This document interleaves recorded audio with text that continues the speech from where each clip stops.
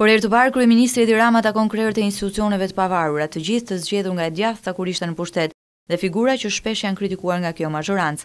Në takimin me shefin e ekzekutivit kanë marrë pjesë, Prokurori i Përgjithshëm, Drejtori i Shërbimit Informativ Shtetëror, Kryetarja e KQZ-së, Inspektorja e Përgjithshme e ILDKP-së, si dhe nënkryetari i Këshillit të Lartë të Drejtësisë, dhe në këtë takim është diskutuar për bashkëpunim në luftën kundër korrupsionit.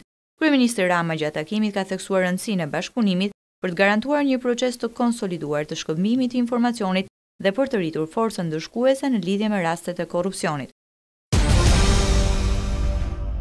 Partia Demokratike ka akuzuar qeverinë për shkarkimet në administratë. Ish-ministri i Inovacionit Genc Pollo ka denoncuar shkarkimin e drejtoreshës së Agjencisë së Prokurimit Publik.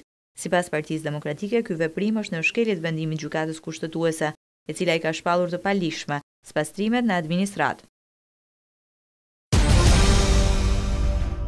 Gjykata Kushtetuese ka shtyrë për herë të dytë shqyrtimin e ankimit të Partisë Demokratike kundër aktit normativ për ndryshimin e buxhetit të vitit dy mijë e trembëdhjetë.